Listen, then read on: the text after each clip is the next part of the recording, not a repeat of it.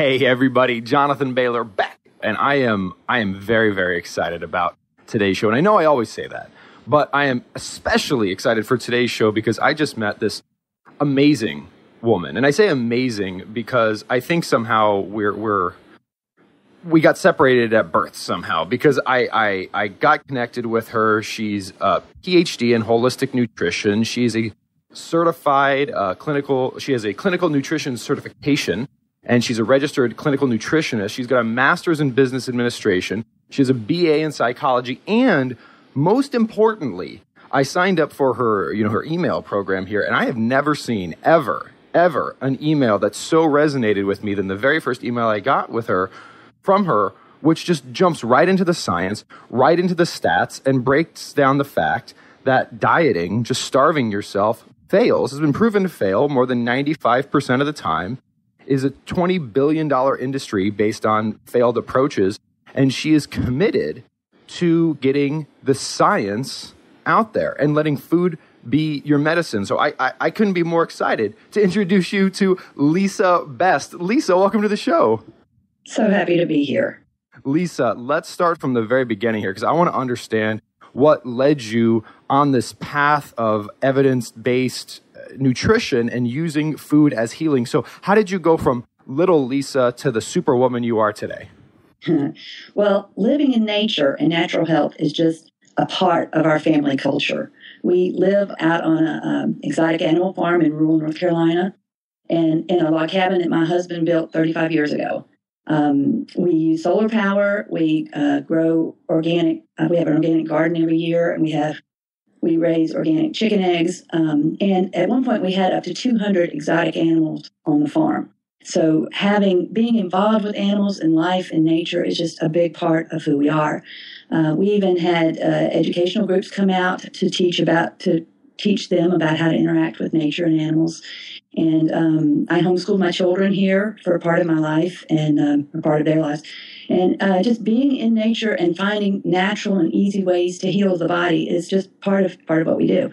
But ironically, I did not start this way. I, again, you read my bio. I, I started with an MBA. I was a financial planner and investment advisor. And uh, when my two older kids were born, I realized that um, I wanted to be home and I wanted to be have an active part in their life and in their growth. So I switched to real estate investing, and I spent 20 years buying and selling uh, properties and fixing them up and renting them out.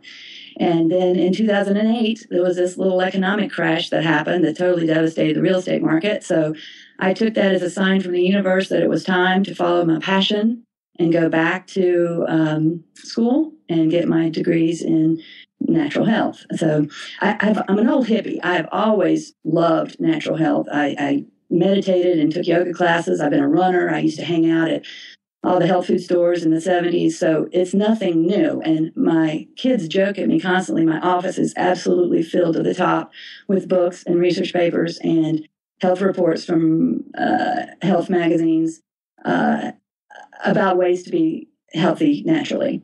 So um, it was just a natural uh, event to move back into or to make a career out of what my passion already was.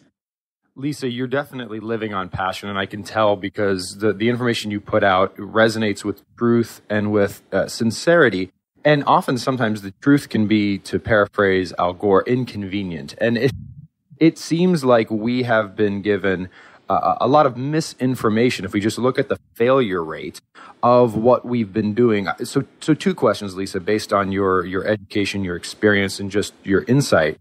Why is it that in the face of this 95 plus percent failure rate, a 108 plus million people trying to diet, not fa- uh, not succeeding, exponentially rising rates of obesity, diabetes, heart disease, and cancer, there are still there are still supposed healthcare professionals that are just telling people to diet harder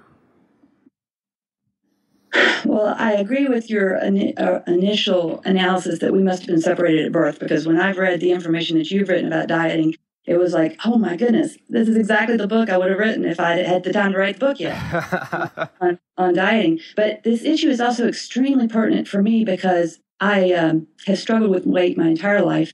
And when I went back to study nutrition, I lost 65 pounds. As uh, as a result of instituting a diet very similar to the one you're recommending: natural, whole, raw, organic, non-GMO, non-processed foods. So I think the problem is, and I'm totally in agreement with you, that the processed food industry in its existence now is creating foods that are not real foods. They're not live, they don't generate nutrition. And the obesity rates and the illness rates of cancer, diabetes, uh, and cardiovascular disease are just are directly related to the dietary input that we're, we're putting in. Lisa, so, why? Oh, go ahead. No, keep going. Keep going. I was just going to say so the misinformation out there is the conflict of interest in business. And again, having a career and understanding capitalism and business interests. There are food companies and food production companies that are that were very quick to jump on the idea of producing fast, easy to fix foods for people in both restaurants and in packaged foods. And in the business model, they have really responded to what we have asked them to do create something that's, that's quick and easy. And quality of food was never the focus. So it's going to take an, a movement from people like you and, my, you and me to get companies to start producing foods that are healthy because they're not motivated to do it now. The, the demand right now is for cheap, cheap, quick, and fast. Lisa, I'm I'm right there with you, and I'm I'm also encouraged because it does seem like the industry will respond if the demand is there. Look at uh, gluten free, for example. So, regardless of the scientific or lack thereof validity of certain gluten free products, the point I'm making is the idea of gluten free was foreign in the mainstream 10 years ago. Now, if you get on an airplane, you can specify gluten free. And there, I don't know how big the industry for gluten free things are, but it seems to just have sprung up overnight. So it does seem like there's hope if we can drive the demand. What do you think? There's definitely hope. And again, being an old hippie, hippie in the 70s, I remember when there was one natural food store in a 100 mile radius. And now, in, in even my small area, we have one. And in larger cities, there'll be eight or 10 in a, in a several block radius. So that's telling you that people are wising up. People are understanding that if we don't eat better and get the right fuel in our bodies for growth and, and healing, we're just going to wind up being sick and fat. So um, I think it is a, a, um, a, slow process, but it is a very, uh, I'm very optimistic that people are wising up. And I'm finding in my practice, I also do health coaching uh, on phone or, or by phone or on Skype. And when I talk with clients and, and who are dealing with health issues, I find that the ones that are the most motivated to make the changes towards healthy food are the ones who are already in pain, the ones who are already experiencing high blood pressure or diabetes or cancer. And um, I, my goal or my passion is to make it so that we don't have to get to that level of degradation of the system before we make these changes in diet to, to restore our health and wellness. Speaking of degradation of the system, one uh, group of individuals who I I so often hear that they've they've started to switch to this whole food, nutrient dense, high quality plants, high quality animals based lifestyle, but they're still not necessarily seeing the results they want, or at least not as quickly as they want.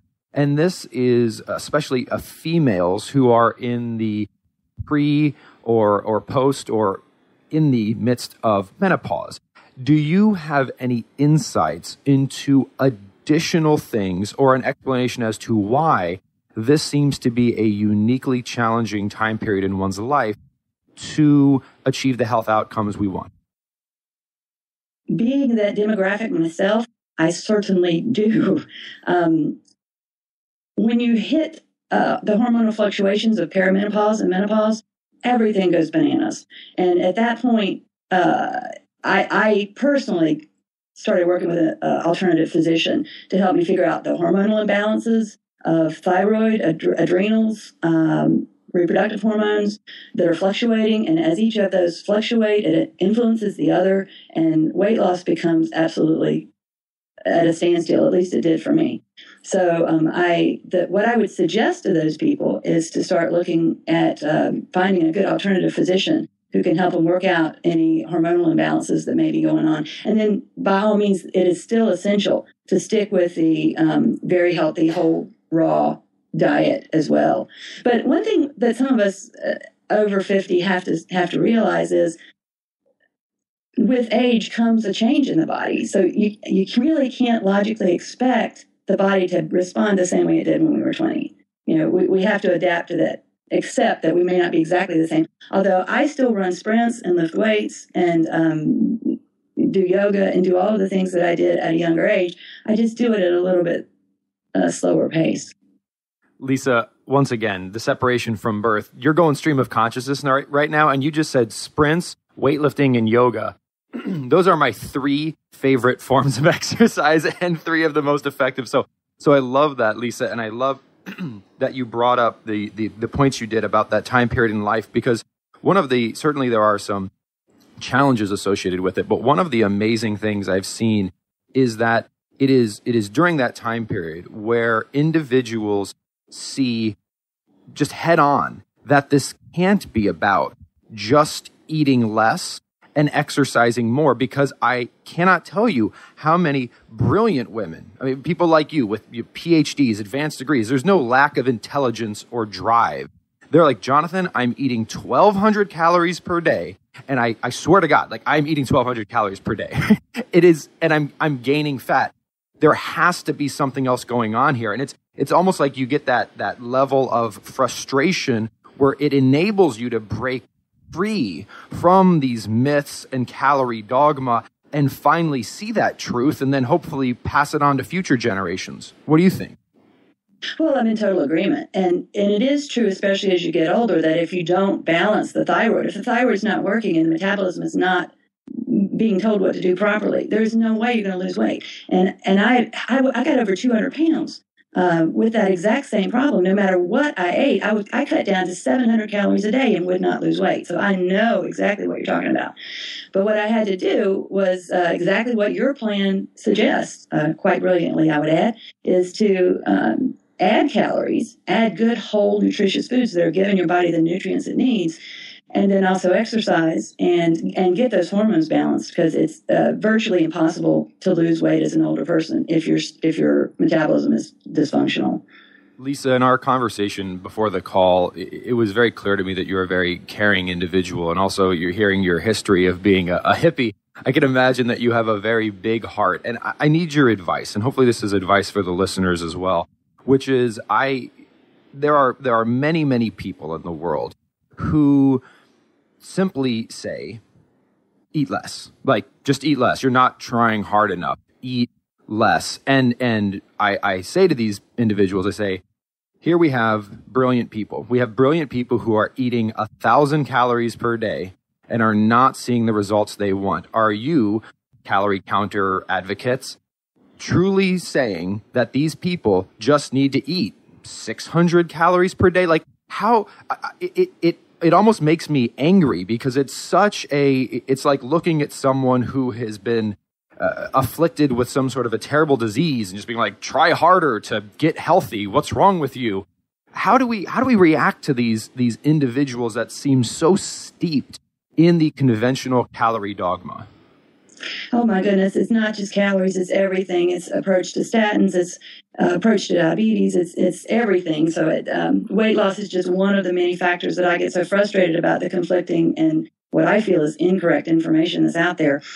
But uh, pertaining to weight loss, especially, um, the evidence just does not support that low calorie diets work. And uh, I know personally that metabolism and thyroid function drops up to 50% every time you cut calories. So if you're constantly diminishing the effectiveness of your thyroid every time you cut calories, your body thinks you're starving to death. Um, that's just the mechanism that's help, helps humans survive for millions of years is when food's not there, everything shuts down so the body doesn't die.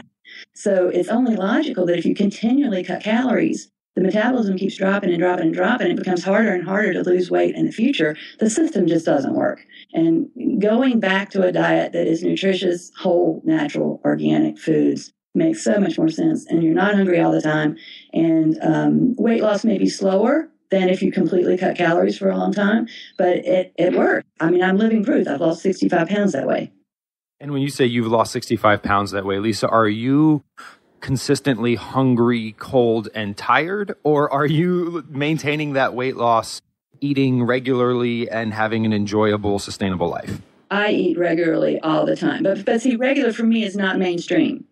Regular for me is a nice portion, uh, four to six ounces of a healthy lean protein, over a half a plate of leafy green vegetables, raw vegetables, raw fats, and avocados. Um, I don't eat that many grains because I'm sensitive to gluten, but I know that there are people that, you know, there are, there are 7 billion people on this planet with 7 billion diets, uh, meaning foods that will work for them. So uh, there are some foods that are helpful and healing to me that are toxic and poison to you. So in my case, I don't, I can't eat a lot of grains, but there, there are vegetarians and people that rely on them. So I'm not trying to make a judgment about one food being better than the other. They're all, um, each of us are individual. But um, I would certainly uh, recommend uh, not cutting out all the calories and trying to live on a decreased calorie diet. It just doesn't work. Lisa, this is this is literally gold, and I so appreciate you sharing this message. And I know you have actually a bunch of cool resources that individuals can take advantage of to get more of this information and get this information on a daily basis. So, what's what's next for you and your consultancy, and and where can folks learn more about you? Well, I um, I was so concerned about the conflicting information that is out there about health, and and I had so many resources of from from um, major U.S. prestigious universities that are just not getting out there into the mainstream. So I developed uh, an app called Health Tip of the Day that's available for iPhone and also for Android um, that provides one daily piece of information uh, that you can use to uh, naturally and easily increase your health. Uh, I find that over the long term, small, easy steps towards uh, health is a much more productive way to make lifelong changes than trying to start some radical program that you get frustrated with and drop. So I thought having that access on a phone would make it very easy for people to see the information that I found. Probably 75% of the tips are based on research, and the rest are based on successful um, clinical protocols that I've found people use to, say, reduce diabetes or to uh, help with cancer treatments. So um, the app is one way. Um, I also write a weekly e-zine called Health Tips Weekly, um, and my website is healingwithholisticnutrition.com.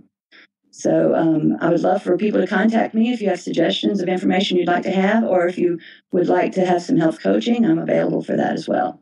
Listeners, again, Lisa is Lisa, we got to get together in person at some point because this this healthy tip of the day, uh, listeners, you'll be familiar with our uh, our our Slim is Simple health tips that we released a while back, and they're they're if you like those, you're gonna love Lisa's tips because they're not tips like eat one less saltine cracker and over the next 20 years you'll lose 20 pounds. They're these they're they're they're they're like facts. They're like little bits of science. They're like little science bites which are wonderful and i love them so lisa again what is the name of that app? Health tip of the day. Brilliant. And again the website where folks can learn more about you? Is healing with holistic nutrition. Well lisa best mba phd CCN, thank you so much for joining us today and for dedicating your life to not only human betterment, but also just getting the truth out there, which is awesome. So thank you so much. Thank you so much for having me. Listeners, I hope you enjoyed this wonderful conversation with today's guest, Lisa Best. Again, be sure to check out healingwithholisticnutrition.com where you can get information on Lisa's app and e-zine, which is awesome, simple science. And we can never have too much of that. So remember this week and every week after eat smarter, exercise smarter, and live better. Chat with you soon.